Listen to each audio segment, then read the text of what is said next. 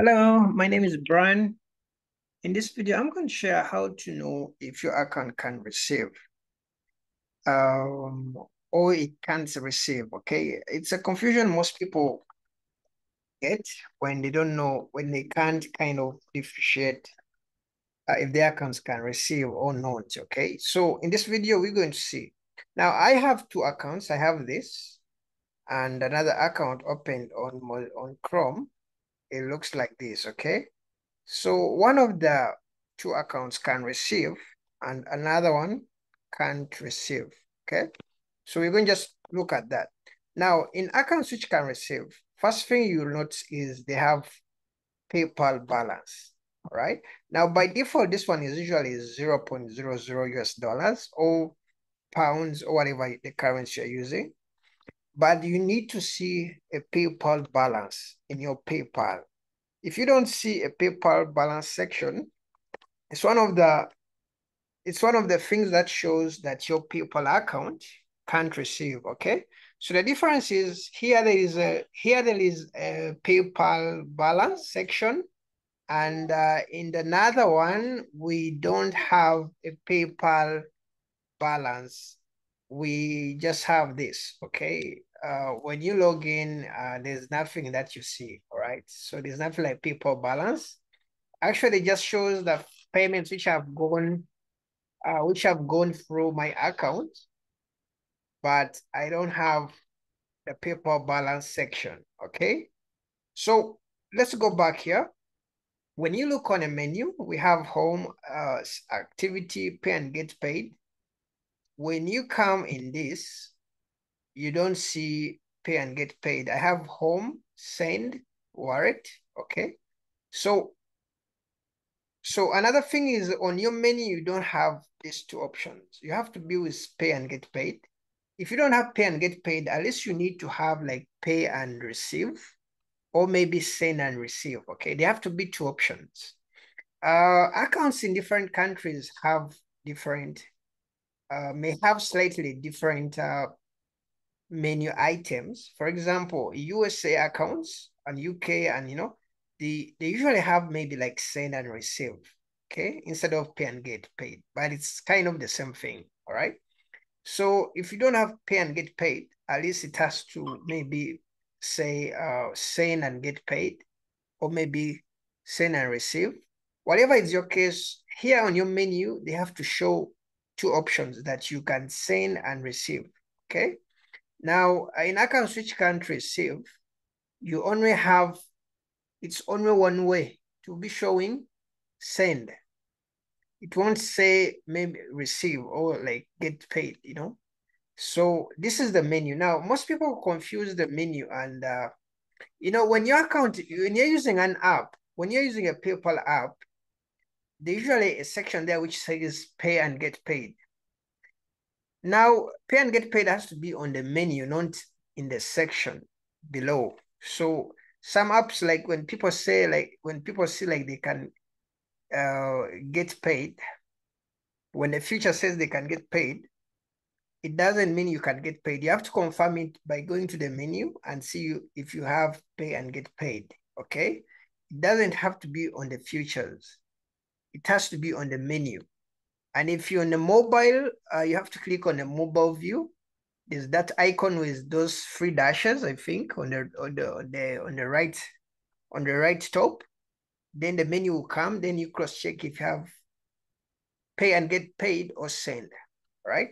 So that's how you can realize if your account can receive or not. Okay.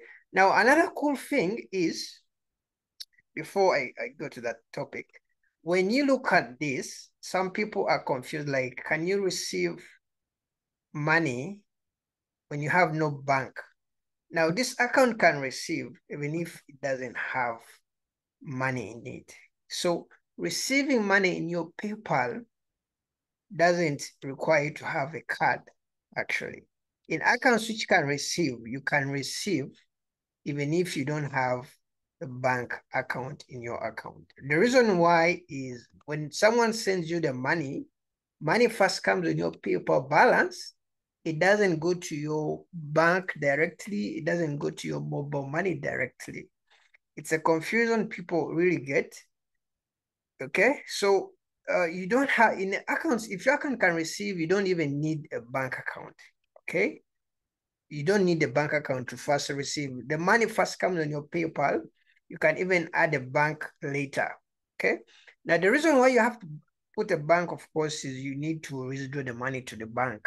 Okay, so for those for those who were wondering how money comes into your PayPal, yes, money first comes to your PayPal balance before it goes to your bank or mobile money.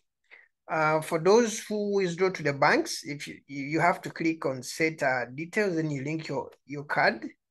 When your card is linked, you'll be able to transfer the money onto that card. Okay, if you need support in that, you can give us a call. Now, if you're withdrawing money to pay to mobile money, you have to note that uh, the functionality doesn't work uh, automatically. For, at least for Kenya, and even for Kenya, you need to have uh, you need to have uh, M-Pesa, and you need to have a link from M-Pesa for transferring money from PayPal. Okay, so it's it's something which is not possible in most countries to transfer money from PayPal directly to mobile money.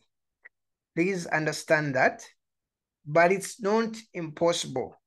But the way to be possible is you use web apps, you use people who you can transact with, then they send money to your mm. mobile money, and you send money to their PayPal, okay? Let me repeat that. If you're going to withdraw money from PayPal to your mobile money, maybe in Tanzania, maybe in Zambia, you usually need to work with a person. You transact with a person. You go on pay, you send your money, this 26, you go to pay, then you send him this money, 26. Then when I receive the $26, I send you money to your mobile money in Zambia in Tanzania. It's kind of a manual process, okay?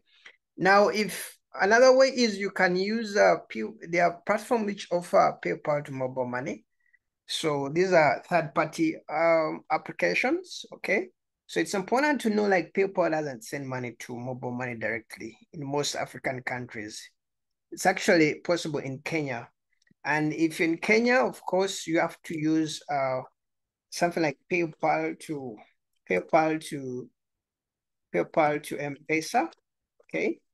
Uh, I think it's one of the only countries where you can do this. I don't know of any other country where you can do uh, PayPal directly to mobile money. So if you're around Kenya, what I what I can recommend you is you can process a Safaricom line and get M-Pesa. So when you withdraw money from PayPal to M-Pesa, you can transfer then from M-Pesa to your maybe MTN Zambia, maybe MTN Uganda, okay? Uh, let me first click on these chairs. I think they're done. Right. So uh, PayPal to, okay, that was it's crazy stuff. Uh, okay, let's refresh this. Just giving you, okay, just giving you, uh, click on beds. I think these are all beds. Okay, just a minute. If you refuse, just give it up. Okay. So in Kenya, you can withdraw the money from to M-Pesa. Then from M-Pesa, you can withdraw, you can push the money from M-Pesa to MTN. Okay, it's usually possible in Uganda, Rwanda, you know, I think even Zambia. So this is how you can. So you realize PayPal doesn't send to mobile money directly. It does so via um, usually another link. Okay yeah, for for other countries, you may have to look for maybe a website which can help you to withdraw from PayPal to mobile money, or you can kind of uh, uh, leave a comment and I can advise on someone you can use in your country. Most of the people uh, here in Africa, they are kind of uh, we are kind of linked up. We are kind of friends, so I can easily advise on a person who can help you in your country. So that's how you can know uh, the pay the accounts that's how you can know if your account can receive or not. Okay. Thank you. And if you have any query, you can leave it in a comment below. I appreciate. Bye-bye.